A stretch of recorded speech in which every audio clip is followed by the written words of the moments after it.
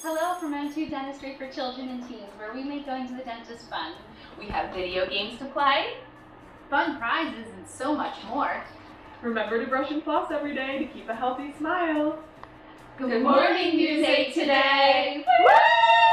and good morning. See, you don't need a giant crowd for a good wake-up call. That's true. Four true. people is plenty.